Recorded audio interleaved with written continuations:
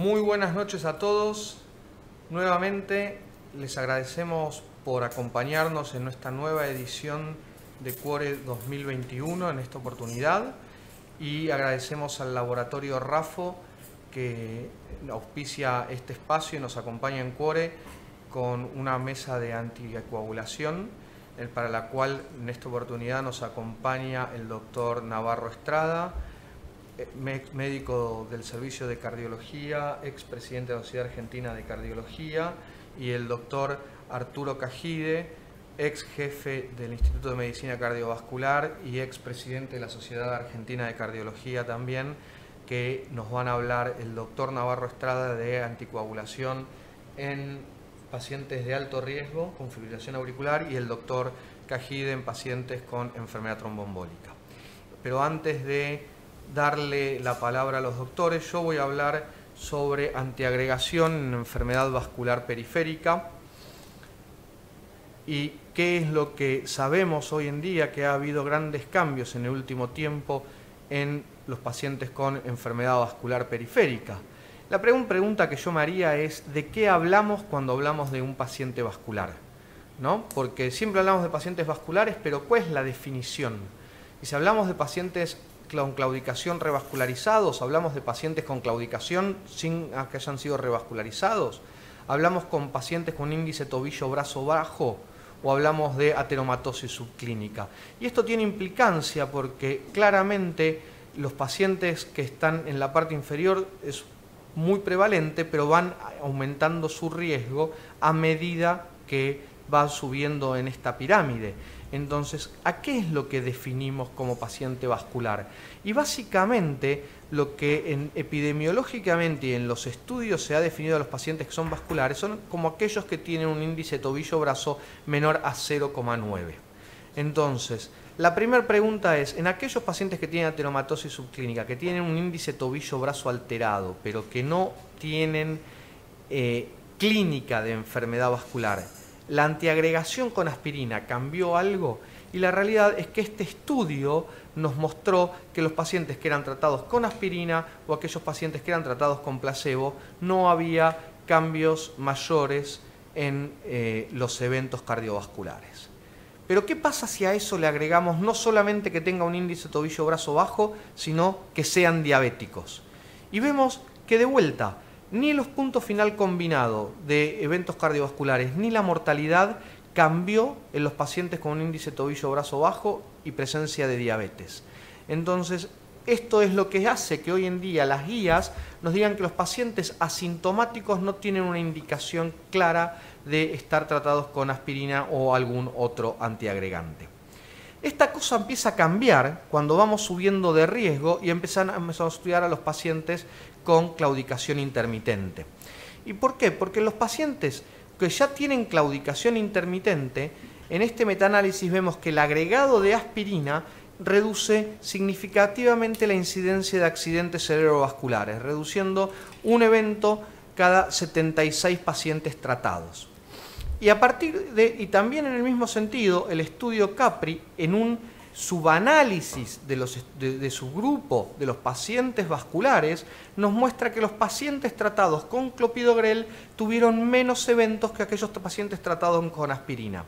Esto es importante tal vez considerarlo y analizarlo un poquito más detenidamente porque este trabajo y este, sub, este subanálisis, este subestudio de pacientes eh, con enfermedad vascular periférica es lo que determina que las guías europeas prioricen el uso de clopidogrel durante mucho tiempo sobre el uso de aspirina, lo cual parece como demasiado una recomendación demasiado fuerte para una evidencia tal vez un poco débil. Entonces, ¿qué es lo que mostró el estudio Capri en los pacientes tratados con clopidogrel? Que se debían tratar 87 pacientes para evitar un evento cardiovascular mayor. La pregunta que siguió después de eso es si el agregado de aspirina clopidogrel, o sea, la doble antiagregación en pacientes con enfermedad vascular periférica tenía algún lugar y tenía algún beneficio en estos pacientes. Y eso es algo que intentó contestar el carisma donde eran pacientes con múltiples factores de riesgo o pacientes con enfermedad cerebrovascular o pacientes con enfermedad vascular periférica en las cuales la mitad habían estado revascularizados o tenían un índice tobillo-brazo de menor a 0,85. O sea, eran pacientes vasculares de verdad. Sin embargo, este estudio no mostró que el agregado de clopidogrel a la aspirina produjese un mayor beneficio. Entonces, básicamente lo que terminamos concluyendo es que en pacientes vasculares estables no hay lugar para la doble antiagregación, que esto es algo que muchas veces cotidianamente lo vemos, que el paciente por ser vascular está con doble antiagregación. Entonces, la realidad es que hoy en día no hay un lugar para la doble antiagregación en este grupo de pacientes. Ya más cerca en el tiempo, la pregunta fue, bueno, si la mejor droga que había demostrado algo y las guías lo ponían como primer indicación clase 1A por ese subgrupo del CAPRI, era el clopidogrel, ¿qué pasa si le damos otro antiagregante como el ticagrelor, más potente si esto cambia algo? Y el estudio de Euclid mostró que no cambiaba absolutamente nada y que no había diferencias en cuanto a la, reducción de eventos en los pacientes tratados con clopidogrel o ticagrelor. Entonces, a partir de ese momento, empieza a surgir toda una, toda una movida acerca de cuál es la fisiopatología de la enfermedad vascular periférica y cómo esto se correlaciona y qué similitudes y diferencias tienen con la enfermedad coronaria. Y básicamente en este estudio anatomopatológico que estudia 95 pacientes que fueron amputados, estudió 121 miembros, 299 arterias, ¿qué es lo que ve? Que hay lugares de las piernas que se habían sido amputadas que tenían trombo, trombo crónico, otros lugares donde tenían trombo agudo y otros lugares donde tenían placas de ateromatosis. O sea, donde no todo era placa o era aterosclerosis, sino también había un proceso trombótico. Y esto da lugar al planteo de, bueno, ¿por qué no empezar a usar dosis bajas de antiagregación? Entonces, vamos a musicalizar un poquito la noche para que nos despertemos. ¿Y qué tiene que ver esto con el cohete espacial?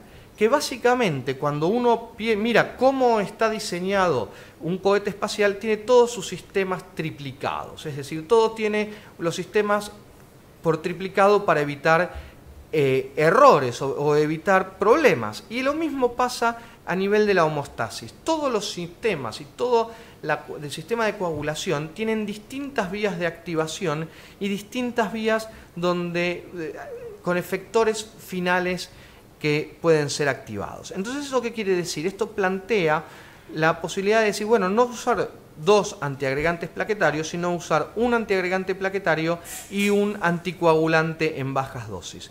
Y esto es un poco el rational, es la base para el estudio COMPAS, un estudio que randomizó 27.000 pacientes en tres ramas, una rama de aspirina, una rama de aspirina y bajas dosis de rivaroxaban y una, dosis, y una rama de una dosis moderada de rivaroxaban. ¿Qué es lo que nosotros nos vamos a focalizar? Nos vamos a focalizar en la comparación entre aspirina y aspirina con bajas dosis de rivaroxaban, porque, porque esa fue la dosis que parecería ser la más interesante desde el punto de vista clínico por la reducción de eventos sin aumentar el riesgo de sangrado. Y lo interesante de este estudio, que fue el estudio que más pacientes vasculares enroló, o sea, es el estudio con más pacientes con enfermedad vascular periférica, ya que casi un tercio de los pacientes tenían enfermedad vascular periférica o enfermedad vascular periférica y enfermedad coronaria en forma concomitante. ¿Y qué nos mostró el COMPAS? Que el COMPAS tenía, se observó una reducción de un riesgo absoluto de 1,3%, pasando de 5,4 a 4,1% de riesgo, ¿no? Y este riesgo, esta reducción de riesgo fue aún un poco más marcada entre los pacientes vasculares que entre los pacientes que tenían, que entre el pool completo eh, de los pacientes incluidos en el estudio. Es decir, los que más se beneficiaron de esto fueron los pacientes con enfermedad vascular periférica. ¿Qué es el costo que se pagó por ese beneficio, esa reducción de eventos cardiovasculares mayores? Un incremento en el sangrado total, un incremento en el o sea, sin incremento en el sangrado fatal ni incremento en el sangrado intracraniano. ¿Y pero ¿qué es lo interesante en todo esto? Que no solamente cuando hay una reducción de los eventos cardiovasculares mayores, sino también de lo que se llama MAIL, o sea, es decir, de eventos cardiovasculares asociados a los miembros. ¿Y esto qué tiene que, a qué se refiere? A amputación, a desarrollo de isquemia crónica y al desarrollo de isquemia aguda. Y cuando se consideran todos estos puntos finales, hay una reducción de eventos que es aún más marcada. ¿Y por qué esto es importante? Sobre todo porque cuando nosotros miramos en este estudio de el Euclid de pacientes que estaban tratados con clopidogrel o ticagrelor, aquellos que requirieron una revascularización de miembros inferiores, vemos que los eventos cardiovasculares mayores aumentan, se duplican en aquellos pacientes que requieren una revascularización de miembros inferiores y los, y los eventos relacionados al miembro aumentan 20 veces con respecto a aquellos que no requirieron un, procedimiento vascular. Es decir, eh, cuando un paciente requiere un procedimiento vascular periférico, son pacientes que no solamente van a aumentar mucho su riesgo a nivel del miembro, sino también van a duplicar su riesgo de eventos cardiovasculares mayores. Entonces, en estos pacientes que requieren una revascularización, ¿no? en el estudio Voyager, ¿qué es lo que se vio? Una disminución aún más marcada del punto final primario de 2,6% a costas de un aumento de 0,8% de lo que es el sangrado mayor. Y cuando nosotros miramos no solamente eh, la reducción de eventos al primer evento, sino la reducción de eventos en forma acumulativa a lo largo de todo el seguimiento del estudio, vemos que esto se magnifica aún más, produciéndose una reducción de prácticamente 17% en eh, la reducción total de eventos a lo largo del seguimiento del estudio. Entonces, en resumen, ¿qué es lo que podemos decir básicamente hoy de la antiagregación en pacientes con enfermedad vascular periférica? Que vamos a ponderar tanto el riesgo de eventos vasculares como el riesgo de sangrado. En los pacientes asintomáticos no vamos a darles tratamiento, en los pacientes eh, claudicantes vamos a darle un tratamiento en principio con una sola droga, con una droga eh, eh, aspirina o clopidogrel, y en pacientes claudicantes que tengan otras comorbilidades, o sea, lo que yo llamo claudicantes plus, o sea, claudicantes y que tengan claudicación y enfermedad coronaria, o claudicantes diabéticos, o claudicantes con este, criterios de alto riesgo son pacientes a los cuales probablemente se beneficien más de aspirina rivaroxaban si tienen bajo riesgo de sangrado y si el paciente ya tuvo una revascularización o es un paciente con isquemia crítica y tiene un bajo riesgo de sangrado o incluso en este caso moderado, es un paciente que sería factible de tratarlo o un candidato a ser tratado con aspirina y rivaroxaban en dosis bajas. Y si tiene alto riesgo de sangrado, nos quedamos con aspirina. Y básicamente esto es lo que se resume en las nuevas guías europeas de antiagregación en pacientes vasculares, donde plantea que en los pacientes asintomáticos no les vamos a dar tratamiento y en los pacientes eh, que tienen enfermedad sintomática y, y, bajo riesgo de sangrado prioriza el uso de rivaroxaban y con alto riesgo de sangrado la monoterapia. Y queda un espacio para seguir comentar adicionalmente, que es aquellos pacientes que son sometidos a un procedimiento de revascularización y que tienen una angioplastía periférica. Y bueno, ¿cuál sería el esquema en ese momento? Donde está la posibilidad de que si tiene bajo riesgo de sangrado, un triple esquema durante un mes con aspirina, clopidogrel y dosis bajas de rivaroxaban. Así que muchísimas gracias y para mí es un honor presentarlo al doctor José Luis Navarro Estrada, seguramente la gran mayoría de la audiencia lo conoce, el doctor Navarro Estrada, eh, jefe de la unidad coronaria del hospital y expresidente de la Sociedad Argentina de Cardiología, nos va a hablar de anticoagulación en pacientes eh, de alto riesgo. José Luis. Bueno, eh, para adelante es este. Bien. ¿Y el puntero? No hay puntero. Ah, bueno, eh, Gracias Ignacio por la presentación, un placer como siempre estar presente en las reuniones anuales del CUORE, del Hospital Italiano y este, el tema que se me ha encargado hoy es la anticoagulación en pacientes con fibrilación auricular ancianos, o sea, dentro de las situaciones de riesgo, la ancianidad. Y vamos a tratar de hacer algunas consideraciones sobre el riesgo, el beneficio, tratando de sacar algunas conclusiones prácticas. Como sabemos, la fibrilación auricular es un hecho muy frecuente y un hecho que llega a eh, tener una incidencia de hasta un tercio en las poblaciones a lo largo de toda la vida en las poblaciones caucásicas. Como vemos en el gráfico de arriba a la derecha, es una eh, situación o una, enfermedad cuya incidencia aumenta progresivamente con la edad y como se ve en la curva superior azul, es más frecuente en los varones que en las mujeres. También se encuentra proyectado hacia el año 2050 un crecimiento progresivo de esta enfermedad que, como dije, está vinculada al crecimiento eh, etario de la población.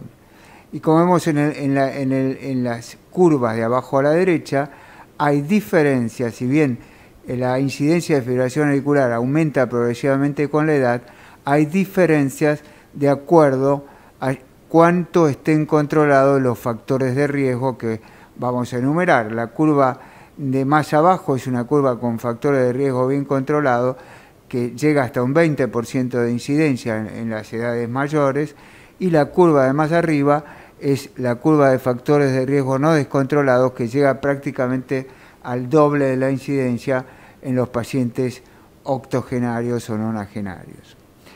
Ahora bien, ¿cuáles son los que se llaman factores de riesgo? Hay muchos factores de riesgo que se vinculan a la auricular. En primer lugar, cuatro pivotales, que son la edad, la etnicidad, la genética y el sexo masculino.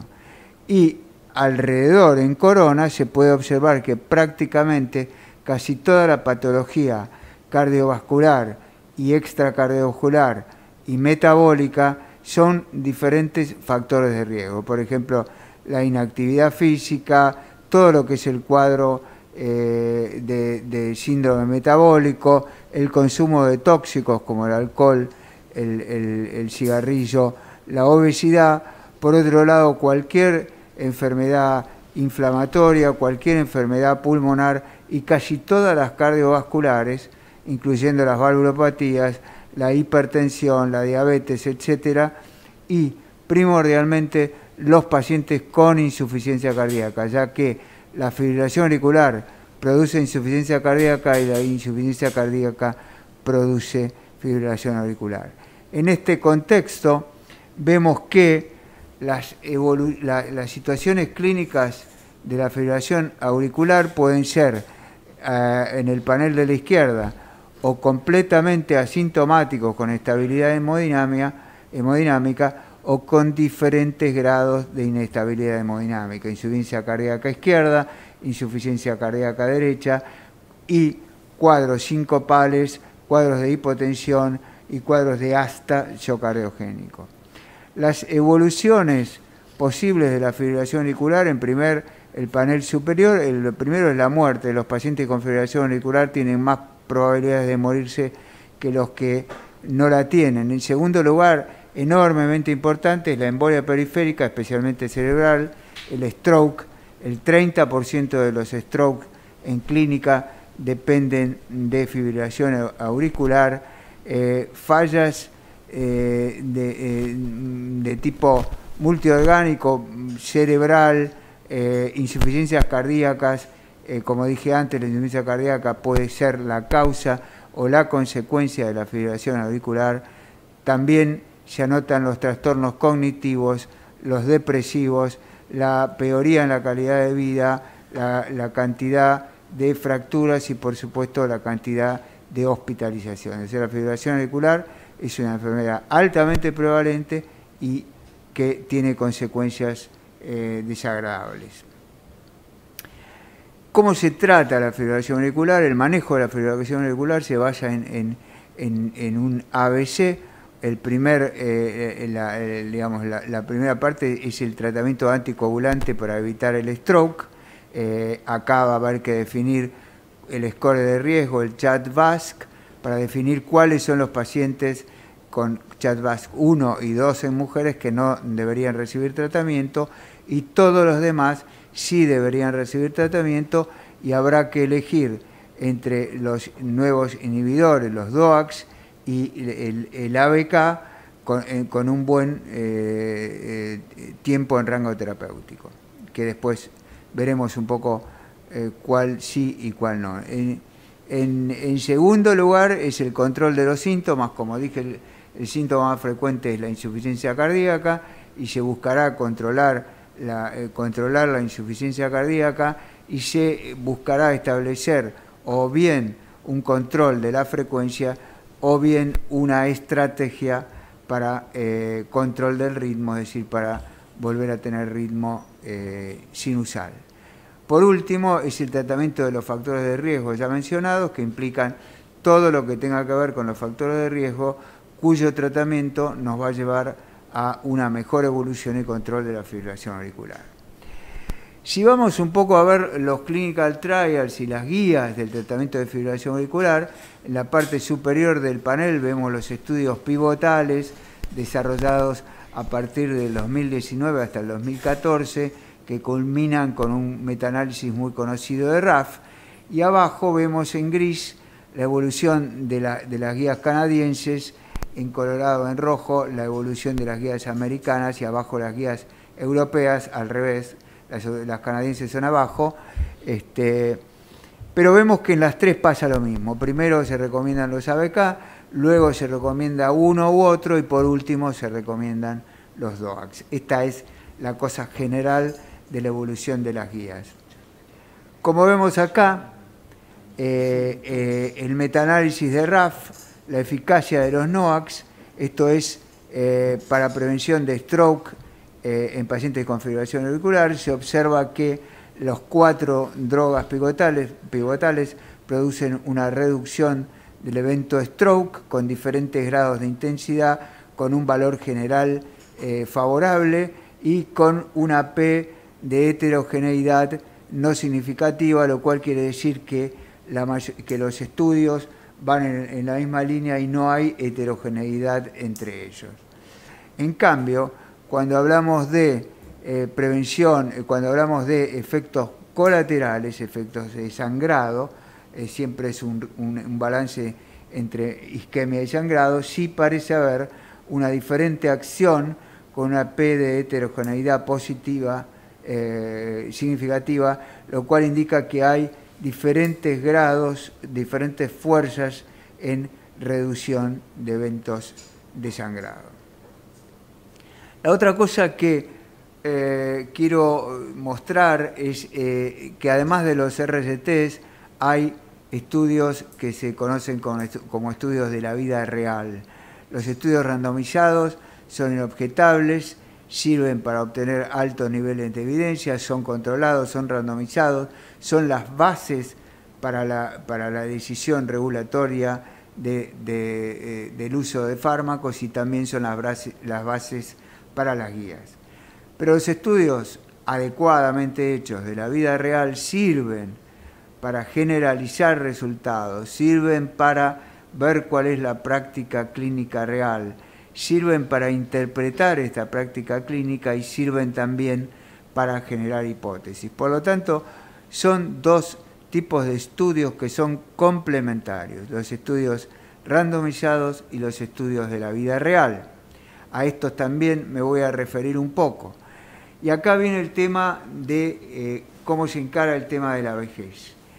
La vejez se puede encarar desde el punto de vista de tres tipos de, variantes de estudio. Primero, los estudios que acabo de mencionar, que son los estudios eh, de la vida real. Segundo, son estudios randomizados específicos en la vejez, que hay muy poquito.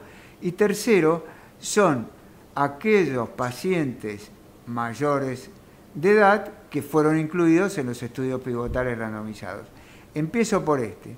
Acá tenemos un estudio eh, hecho en Medicare en pacientes en pacientes añosos, es como un estudio de PAMI en Estados Unidos, eh, 450.000 pacientes, no es randomizado, pero está ajustado por Propensity Score, y por la inversa de la probabilidad del tratamiento, que es un derivado del propensity score, y ahí vemos los, eh, las cohortes con inmenso número. Este es un estudio pedido y eh, em, eh, soportado, apoyado por la endorsed, endosado por la, por la FDA. O sea, es un estudio serio, a pesar de que no es un estudio randomizado.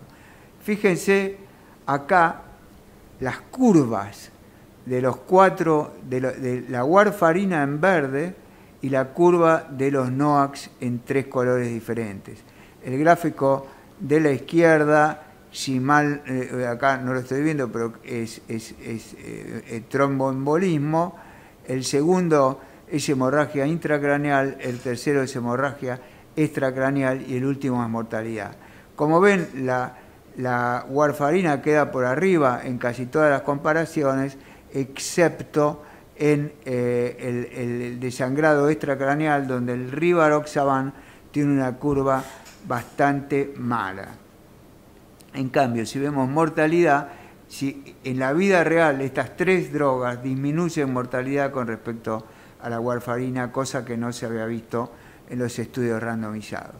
En este mismo vemos las comparaciones cabeza a cabeza. El dabigatran contra el rivaroxaban en la columna de la izquierda, tenemos enfermedad tromboembólica, sangrado intracraneal, sangrado extracraneal y mortalidad. Como vemos, la reducción de, embolias es parecida, pero el, el dabigatran es mucho, es muy favorable en la reducción de los diferentes tipos de hemorragia, específicamente la hemorragia intracraneal. La hemorragia intracraneal, el dabigatran es uno de los más efectivos. Cuando comparamos el apixaban contra el, el rivaroxaban, se observa en, la tercera columna una marcadísima eh, reducción del sangrado extracraneal con respecto al rivaroxaban. Como vamos a ver, esta es una acción específica del apixaban que tiene mucho que ver con la hemorragia digestiva.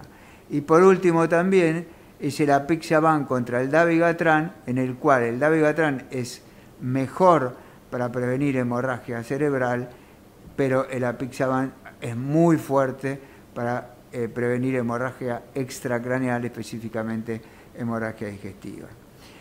Esto es la patente de uso en, los últimos casi 10 años. En la curva gris vemos la, la, warfarina en progresiva disminución. Las otras dos, anaranjada y verde, el dabigatran y el rivaroxaban, que tuvieron un rápido crecimiento y luego un plató lento con lenta disminución. Y por último el apixaban, que está al parecer siendo el más aceptado por la comunidad médica y viene creciendo. Fíjense, estos son las bases de datos, la base de datos alemana, eh, son dos cohortes, en rojo la cohorte previa al 2011 y en azul la cohorte eh, consecutiva al 2016. Esto es en la izquierda eh, el stroke isquémico en ambas cohortes en los diferentes grados de CHAS, en todo de, de CHAS VASC. En todos los grados de CHAS VASC la cohorte más moderna tiene disminución del eh, stroke isquémico y como se puede observar no ha habido un aumento consecutivo de sangrado.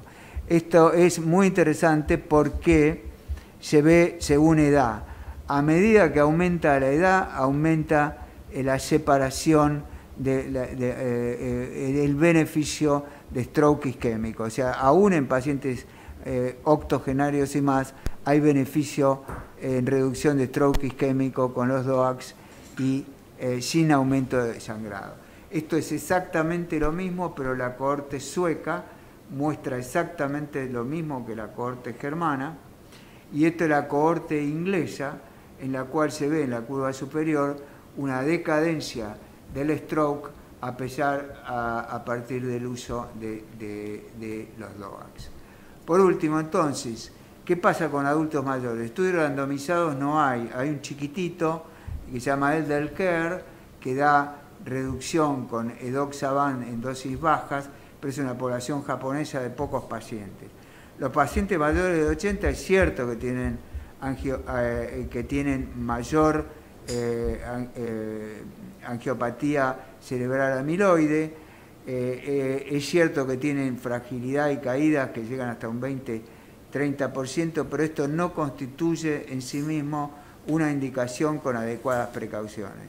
Tampoco los pacientes dementes, en, cuyo, eh, en, cuyos casos el stroke es mucho más grave que en otros pacientes, lleva a más reinternaciones y a más secuelas. Por último, entonces, ¿qué pasó con el grupo de adultos mayores en los, eh, en los RCTs? No fueron pocos, fueron 27.000 pacientes en los tres, eh, cuatro estudios pivotales que pasaron los 75 años, y se vio que cuanto más es el riesgo basal, mayor es la reducción del riesgo con DOAX versus ABK. También eh, se observó una eh, menor NNT y mayor, menor hemorragia intracraneal. La extracraneal aumenta con la dosis alta del DAVID, pero no hay interacción del davigatran pero no hay interacción con, eh, con edad y los otros tres, y los mayores de 75 tienen más beneficio con DOAX que no medicados o con ABK. El beneficio clínico neto se va atenuando con la edad porque hay riesgo competitivo con el sangrado y la muerte. Como conclusión entonces se ha demostrado que los DOAX tienen más eficacia y seguridad que los ABK por eh, estudios randomizados y por la vida real, los DOAX tienen diferentes perfiles de acción, sobre todo en lo que es relativo a seguridad. El uso de DOAX ha llevado a una consistente reducción del stroke sin un aumento correlativo del sangrado. El riesgo crece con la edad, pero la acción beneficiosa se mantiene. La edad extrema, la insuficiencia renal, la fragilidad y la, la demencia y el bajo peso no constituyen contraindicaciones absolutas, pero requieren precaución. Gracias. Excelente, doctor Navarro, muchísimas gracias. Y ahora vamos a escuchar al doctor Arturo Cajide, que nos va a hablar de enfermedad tromboembólica y de los conceptos más importantes en la enfermedad. Bueno, muy bien. ¿Se escucha ahí? Sí. Bueno. Eh, bueno, yo voy a tratar de responder simplemente a algunos interrogantes útiles o que, me parece que pueden ser importantes en la práctica clínica. Eh, y no voy a hacer ninguna revisión bibliográfica ni ninguna ni voy a mostrar ninguna curva. Así que vamos a pasar al primer diapositivo. Ahí está.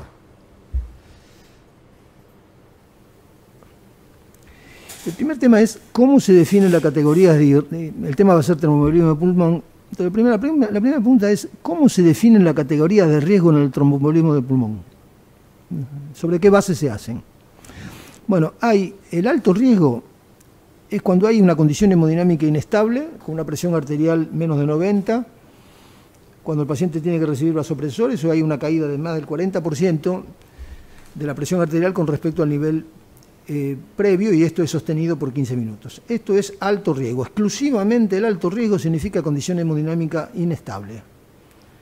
¿Cuál es el riesgo intermedio? Es un grupo heterogéneo, no está bien definido. Cuando hay alguna bioquímica, que, por ejemplo, troponina, BNP, que está un poquito elevado, cuando en el ecocardiograma, por ejemplo, se obtiene una dilatación del ventrículo derecho o en una tomografía, o hay algún indicio de disfunción. ¿Y qué es el bajo riesgo? Cuando no está ninguna de estas dos condiciones. De manera que estas son las definiciones. Todas otras definiciones eh, eh, salen de lo que las guías en este momento están considerando en cuanto a la calificación de riesgo. ¿Cuál sería la segunda pregunta? En riesgo bajo, tenemos que empezar con eh, heparinas de bajo peso molecular y anticoagulación oral o directamente con oral. Ambas opciones están en este momento consideradas por las guías. Si se opta por la anticoagulación oral directa, lógicamente no podemos dar eh, eh, antivitamina K, tenemos que ir con los DOAC, de cuyas condiciones ya habló el doctor Navarro Estrada. Cuando vamos con la anticoagulación oral, ya sea pasando en el caso de las antivitamina K con heparina de bajo peso molecular o directamente con DOAX, ¿cuál de las dos indicamos entonces? ¿Antivitamina K o DOAX? ¿Cuál de las dos? Ambas intervenciones son en este momento factibles. La preferencia es por DOAX. ¿Por qué? Porque es mucho más factible, mucho más fácil, rápidamente el paciente queda anticoagulado. Segundo, la enfermedad oncológica actualmente no es una contraindicación. Esto es muy importante. Durante algún tiempo faltaba evidencias, ahora ya no. Lo que sí es una, eh, una contraindicación es el síndrome antifosfolipídico en el cual los DOAC no están por ahora indicados. La pregunta que sigue es, ¿cuál de los DOACs? ¿Cuál? ¿Cuál de ellos? Rivaroxaban, Apisaban o Davigatran, no hay datos firmes hasta ahora que sugieran que en el TEP la relación costo-beneficio es favorable a uno de estos fármacos. Lo que sí tenemos que considerar es la función renal, la cobertura y la preferencia del paciente. Ustedes saben que referente a la, función renal, todos estos, los DOAC, todos ellos tienen que adaptarse a la, perfusión, al filtrado glomerular. En alto riesgo, cuando hay un TEP con falla hemodinámica, ¿cuál es la estrategia? Bueno, perdón, esto es con respecto a, lo vamos a pasar de alto, es directamente respecto a cómo se tienen que administrar los DOACs en este contexto de embolia de pulmón. En el TEP de alto riesgo se define exclusivamente por falla hemodinámica, la indicación es solamente una, trombolisis sistémica. En general, la condición de TEP de alto riesgo, cuando hay hipotensión severa, el paciente no responde, necesidad de inotrópicos. Cuando hay esta condición, la indicación es solamente una, trombolisis sistémica. La indicación queda justificada por la relación costo-beneficio. En este caso, la trombolisis local no es una opción. Si falla nueva dosis este, o mitad de dosis, extracción por catéter o eventualmente trombectomía. Pero la indicación de entrada es la trombolisis sistémica y es lo que estamos haciendo nosotros cuando el, paciente reúne las condiciones que antes dijimos. En riesgo intermedio, lo que actualmente, lo que muchas veces se define como TEP submasivo, ¿cuál sería la, la estrategia? Anticoagulación o eventual trombolisis local. ¿Cómo se define la condición de eh, eh, eh eh, en un nivel de riesgo intermedio? Bueno, ya lo dijimos, cuando hay dilatación o disfunción del ventrículo derecho o biomarcadores efectivos. La trombolisis local es una indicación potencial, pero no hay evidencia de su superioridad en relación al, tratamiento anticoagulante. No hay elementos de juicio que, sugieran este tratamiento. Su indicación es caso por caso y su indicación podría limitarse a los centros con experiencia. Ahora, cuando hay un riesgo hemorrágico, por supuesto, siempre es algo que tiende a eh, la indicación de una trombolisis sistémica, por algo que después vamos a ver. En resumen, ¿cuál es la indicación entonces de trombolisis? TEP con falla hemodinámica sistémica, TEP con falla de BD o eventualmente eh, alguna otra eh, condición asociada, como la dilatación, las imágenes y demás, anticoagulación y eventual trombolisis local. La trombolisis sistémica son 100 miligramos en, dos horas. La trombolisis local es una dosis infinitamente menos, 30 miligramos entre 18 y 20 horas. Como ustedes se dan cuenta, son microdosis o minidosis. ¿Qué podemos decir del TEP asociado a hipoxia severa? No guarda relación con la severidad hemodinámica del TEP. Puede ocurrir en ausencia de hipertensión pulmonar. Se trata de pacientes con limitada reserva cardiopulmonar. El tratamiento debe individualizarse. Es decir, que si hay hipoxia, no se corrige fácilmente y demás, esto no indica necesariamente que se trata de una, una embolia de pulmón masiva. La condición previa del paciente es un condicionante en este sentido. Por lo tanto, la estrategia debe individualizarse. TEP y alta carga trombótica. ¿Qué significa esto? Cuando hacemos una, una, eh, una TCEP, confirmamos el diagnóstico y no solamente confirmamos el diagnóstico, sino que hay imágenes que son un poco eh, sugestivas de que el trombo es muy grande, ya sea porque está cabalgando entre las ramas pulmonares o porque hay muchas ramas este, ocultas. Es decir, la carga trombótica, entonces, este, ¿cuál es la estrategia que debe, que debe recurrirse? La taquicardia trombótica es una condición pobremente definida, produce un impacto muy importante desde el punto de vista em, eh, en cuanto a la imagen, pero hay casos, escasos datos que relacionan la carga trombótica en ausencia de falla, de, falla hemodinámica con más devolución. Nosotros tenemos muchos pacientes, o yo por lo menos mi experiencia es que tenemos pacientes con una carga trombótica importante medida por la TC, que el tratamiento eh, con anticoagulantes permite borrar esa carga en los siguientes 5 o 6 días y el paciente queda estable desde el punto de vista hemodinámico. No hay evidencia de, reducción de la mortalidad con trombolisis eh, en este tipo de pacientes, vuelvo a decir, cuando no hay falla hemodinámica. La trombolisis local podría ser una indicación en casos o situaciones individuales. ¿Qué podemos decir del TEP con coágulo en tránsito? Las opciones de tratamiento en este caso son básicamente la anticoagulación, si la condición hemodinámica lo permite, la trombolisis eh, sistémica en ciertas circunstancias y eventualmente en raras condiciones la cirugía. Con respecto a qué se puede decir con respecto al TEP y la prevención de la hipertensión pulmonar crónica. Bueno, la, evolución a la hipertensión pulmonar crónica ocurre en el TEP no diagnosticado y consecuentemente no tratado con anticoagulación.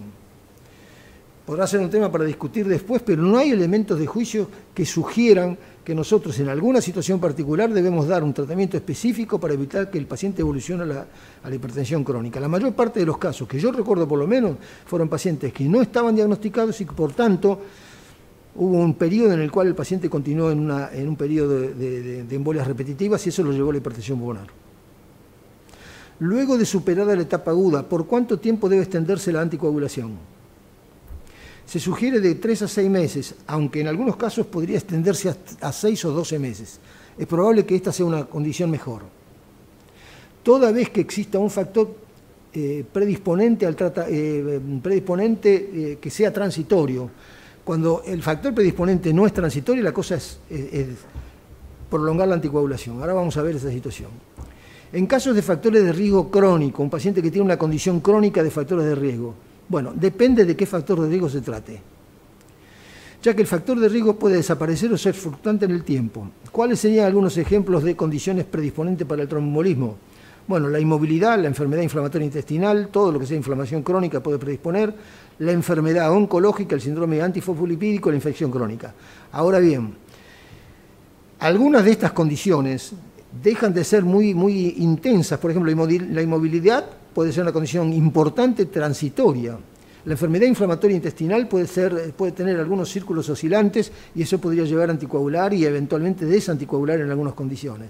La enfermedad oncológica puede estar controlada o no, y eso también. De modo que cada una de estas situaciones requiere un enfoque individual.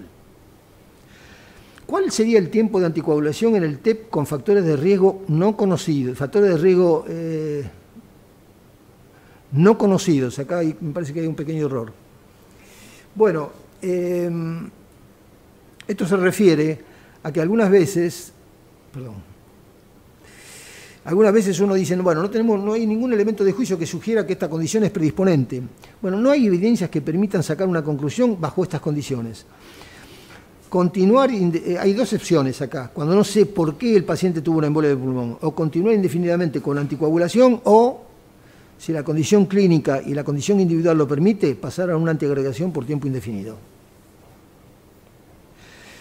Y la última pregunta sería esto, ¿por qué hay controversias? Que seguramente las vamos a discutir ahora después en la mesa. ¿Por qué tenemos controversias en, la toma de decisiones?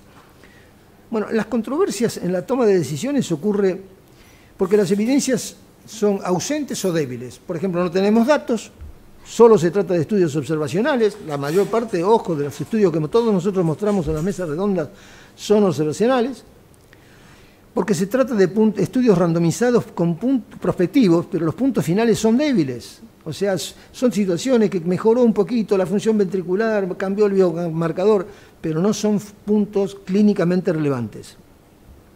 También puede ocurrir que las guías, las recomendaciones o las charlas o conferencias de expertos, bueno, este, en estos casos el tema es cómo nos posicionamos. Por ejemplo, cuando la recomendación es 2B, ¿es indicación firme de, no hacerlo o más bien estamos más cerca de no hacerlo?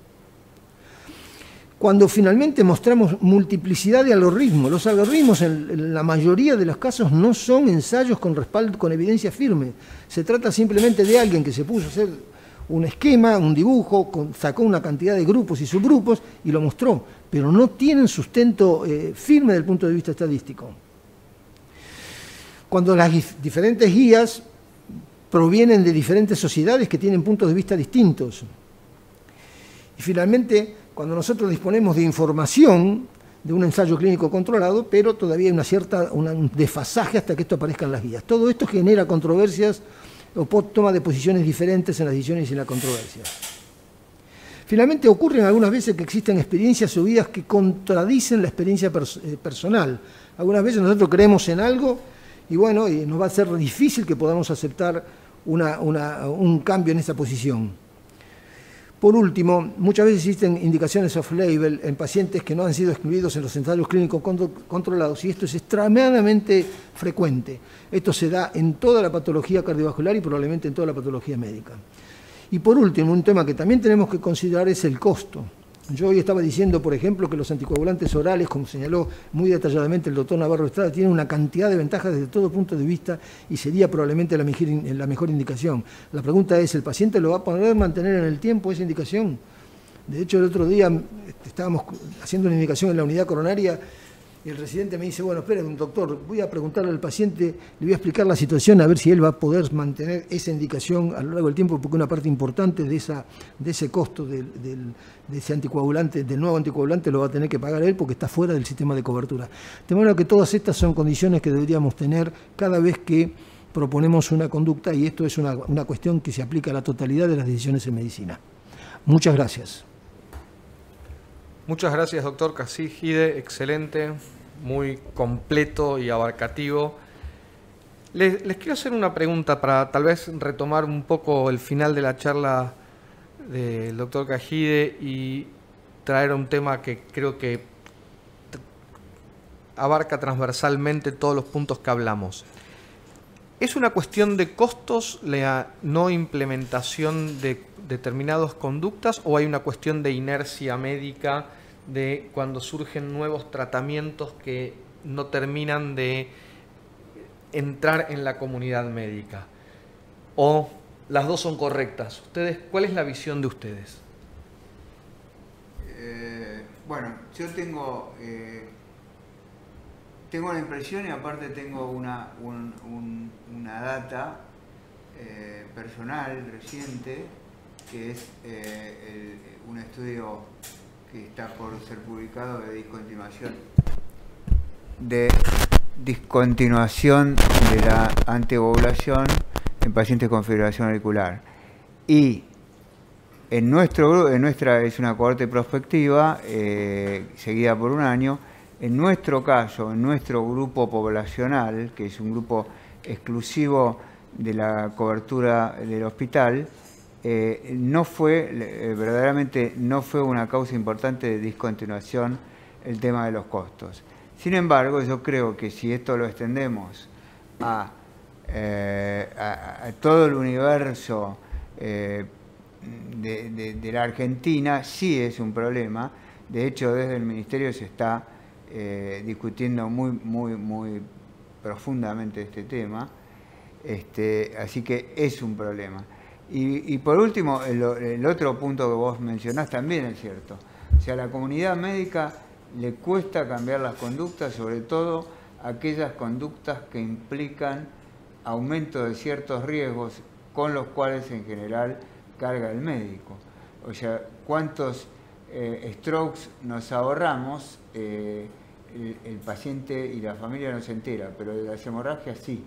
Y en general esto lo carga el médico. Y yo creo que es un problema para eh, transferir ciertas conductas que se conocen poco, que, pueden, que pueden incluir este, algún tipo de complicaciones, aunque quedó en claro que las hemorragias con los DOAC son mucho menos que con, con los ABK. Eso, eso tiene que ser taxativo.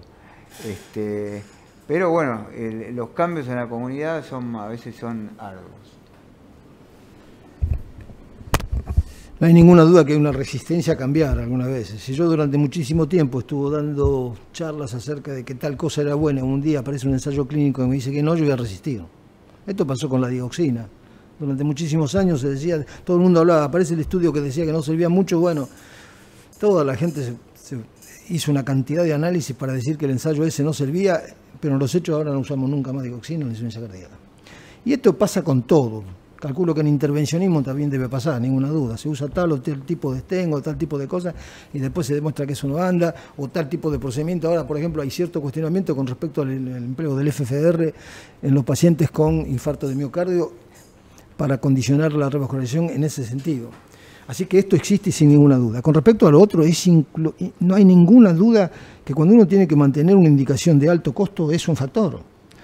Pero eso no afecta solamente al paciente que no tiene cobertura, el que tiene cobertura también, porque todavía este tipo de drogas no están reconocidas en el sistema por la cobertura. Y esto motiva al, comentario que acababa de hacer este, Nacho, que los residentes ya están preparados. ¿Por qué? Porque muchas veces lo viven después en el consultorio. Usted va a poder, mire, esto le va a salir tanto, tanto, va a poder pagarlo o quiere tal cosa. Y cuando dice tal cosa, elige el otro. No, pero mire que esto es mejor por tal y cual. Sí, sí, pero yo no lo puedo comprar. Así que no hay ninguna duda que es necesario que baje el costo de esto o que los prepagos por favor lo incorporen, porque no hay ninguna duda tampoco que la relación costo-beneficio está a favor, de los nuevos anticoagulantes orales. Perfecto. José Luis, te hago una pregunta. O sea, vos sobre el final de tu charla hablabas un poco de las poblaciones de riesgo más vulnerables y uno de los motivos que vemos en la práctica del consultorio para suspender la anticoagulación, no para rotar a una estrategia o a, otra, ABK o DOAX, sino a veces suspenderlo es la caída, las caídas en los pacientes ancianos. ¿no? Y muchas veces o colegas le suspenden la anticoagulación al paciente fibrilado porque tuvo una caída o un antecedente de caída o un riesgo de caída. ¿Eso es una contraindicación para estar anticoagulado? Eh, es una pregunta muy buena porque la verdad que una de las cosas en, los rounds que uno hace todos los días en, en unidad coronaria y se plantea en un, en, un, en un paciente añoso la continuidad de la anticoagulación, muchas veces dice, es un paciente que tiene muchas caídas.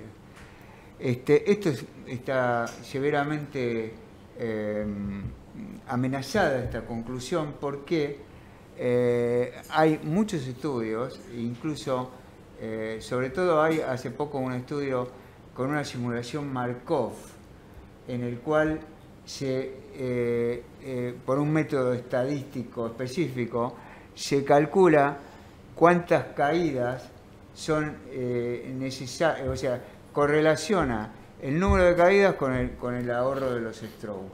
Y es absolutamente favorable el mantener la anticoagulación, como que se necesitan X número de caídas para eh, justificar eh, el no dar anticoagulación por el, ahorro de stroke que eso produce el número es catastrófico y no, no, sí, yo, lo leí, no me acuerdo el número, pero era como que se tenía que caer casi todos los días el paciente. Sí, una cosa así. Está en las guías, en, está en las guías este, europeas. En las guías europeas. Yo no creo en el número, pero creo sí que eh, no hay que agarrarse tanto del número de caídas, sino que hay que, hay que eh, ver cómo se comporta el entorno familiar y eh, avisar eh, medicar como corresponde, yo creo que las caídas no son una contraindicación.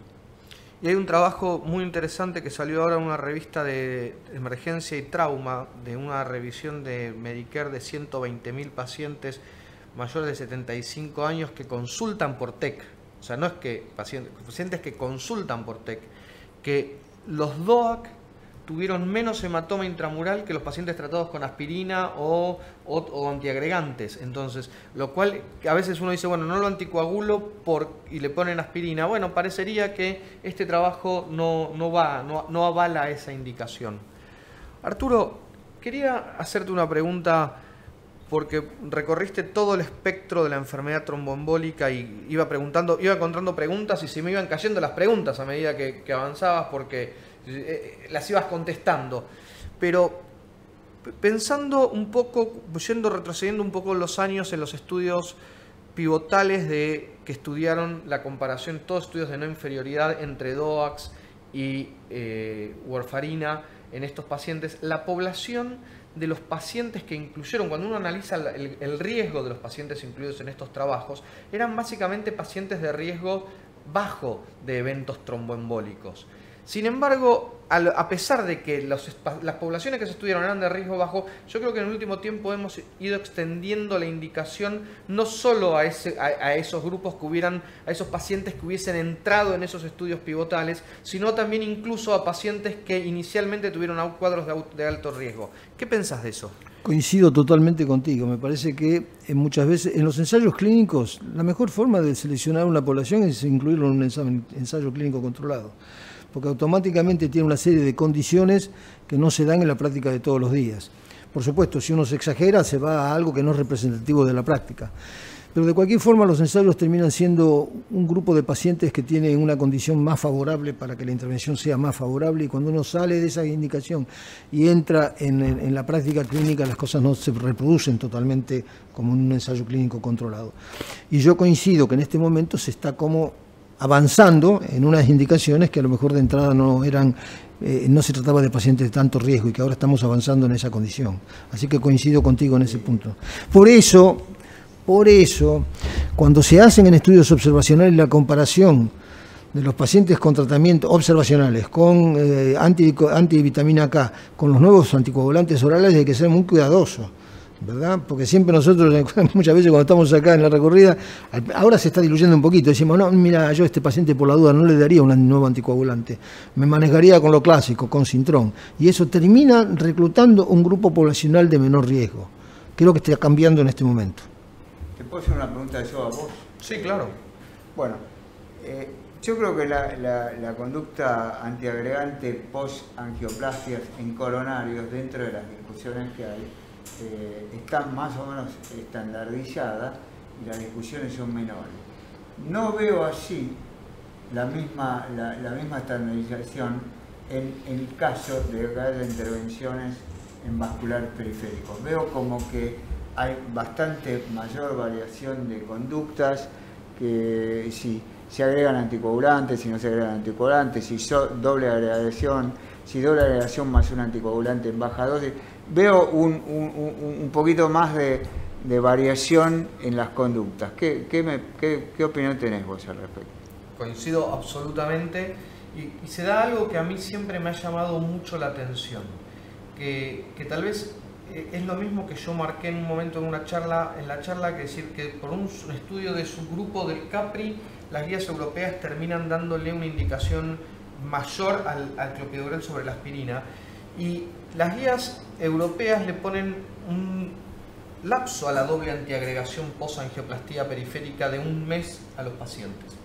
Y a mí esto es una cosa que siempre me llamó mucho la atención, porque cuando uno va a mirar los estudios de los propios stents o de los dispositivos, porque tengamos en cuenta que a diferencia de enfermedad coronaria, cuando hablamos de angioplastía periférica podemos estar hablando de balón, de balón con droga, de stent, de stent con droga, de stent biodegradable, o sea, tenemos un de rotablator, de uso de angioplastía subintimal, o sea, tenemos angioplastía infrapatelar o suprapatelar, tenemos una, se abre un abanico de territorios con características diferentes y con devices diferentes que se usan que es muy amplio y que reducirlo a una cosa, decir solamente un mes para, de doble antiagregación para todos los pacientes, a mí me parece que es un reduccionismo peligroso. Eh, y cuando uno va a mirar los estudios de los STEMs, que, los estudios de los STEMs que dieron lugar a la aprobación de esos STEMs, en general todos los STEMs tienen seis meses de doble antiagregación. Entonces, o seis meses de doble antiagregación, o incluso hasta un año, o incluso algunos que no, no dicen cuánto tiempo se lo determinó. Entonces, a partir del el COMPAS y sobre todo a partir del Voyager en angioplastía, es como que se estandarizó un poco lo que, la, estrategia de aspirina, rivaroxaban o aspirina, clopidogrel, rivaroxaban durante un mes. Entonces, si, si querés, esa estrategia lo que viene a hacer es decir, bueno, el primer mes en pacientes de bajo riesgo, la mitad de los pacientes usaron un triple esquema, sin aumento del sangrado significativo porque fue muy acotado en el tiempo y después los pacientes quedan protegidos con una doble terapéutica quedaron siguiendo un doble tratamiento de aspirina rivaroxaban. Y eso parece que a esos pacientes les fue mejor que los que quedaron con aspirina solo. Pero la realidad es que creo que hay un grupo muy heterogéneo que hay un grupo muy heterogéneo de devices y de motivos que dan lugar a la revascularización. Es como no es lo mismo revascularizar por claudicación que por isquemia crítica. Entonces es como que estuviéramos mezclando angina crónica estable con síndrome coronario agudo. Creo que todavía tenemos que eh, desgranar un poquito más qué paciente tenemos adelante y yo creo que un paciente con isquemia crítica no, no lo dejaría con un solo antiagregante y tal vez un paciente con, enferme, con claudicación, con una angioplastía muy proximal, suprapatelar, tal vez uno puede ser menos agresivo. Te quiero hacer una preguntita. Si uno, ya terminamos, ¿no? Te quiero hacer una pregunta muy concreta. Si uno se maneja con un criterio tremendamente simplista y dice, voy a hacer bastante parecido a lo que hago con los coronarios, excepcionalmente voy a usar triple esquema y si lo hago por uno o dos meses, no más. Segundo, cuando tengo que anticoagular le voy a agregar un antiagregante, puede ser clopidogrel, por ejemplo, o algún otro de este tipo. Y con respecto a la doble antiagregación extendida y muy prolongada en el tiempo, es una condición excepcional que probablemente ofrezca pocos resultados. Un clínico que no sea un especialista en la parte vascular, ¿está muy errado si hace esto? No, creo que muy errado no va a estar. Ok. Gracias Nacho, porque si no me sentía un poco más creo, Creo, creo, que muy errado no va a estar. Y creo que también es un poco lo que se hace en enfermedad coronaria. O sea, Hoy en día hay esquemas tal vez más abreviados, pero nadie haría un esquema abreviado en un paciente con una lesión en el tronco. Está perfecto. Entonces, creo que lo que conceptualmente, para, para, ir cerrando, lo que haría es, si vos tenés un, un, triángulo en un sentido, en enfermedad vascular periférica, lo daría vuelta. Si el riesgo trombótico en coronarias es, muy, es alto proximal y vos protegerías mucho el tronco, mm. en enfermedad vascular periférica protegería mucho lo distal, que tiene más riesgo de trombosis. tal vez dejaría ese concepto. Entonces, les quiero agradecer muchísimo, muy, me parece que se han invertido conceptos muy interesantes, estamos llegando a nuestro horario de cierre, le quiero agradecer un montón a los participantes, esta mesa ha sido un éxito eh, por la convocatoria que ha tenido, me comentaban, y eh, los quiero invitar a seguir participando de Cuore. Cuore es una temporada, nos quedan 10 días de Cuore. Hoy es el primer día que está empezando Cuore y donde tenemos más de 120 charlas on demand que pueden disfrutar ustedes en nuestra plataforma eh, durante los próximos 10 días y encontrarnos con ustedes de vuelta en forma sincrónica el próximo miércoles a las 17 horas y el lunes y miércoles de la semana que viene, tanto para charlas de alto contenido académico como para charlas de alto contenido general. Muchísimas gracias, buenas noches. Gracias, buenas noches.